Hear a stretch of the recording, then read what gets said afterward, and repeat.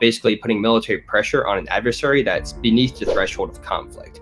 So it's not quite as escalatory as entering a actual territorial airspace, but it is escalatory enough where you can put military pressure on a state without maybe without crossing lines. China planes enter Taiwan's ADIZ is a headline that's been a norm in Taiwan since 2019 after ADIZ information went public.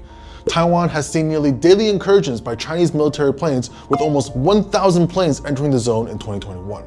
However, this is sometimes mistaken as China entering Taiwan's airspace. An ADIZ acts as a buffer zone where a country monitors all aircrafts, but is not a country's airspace. South Korea, Japan, China, and Taiwan's ADIZs all overlap.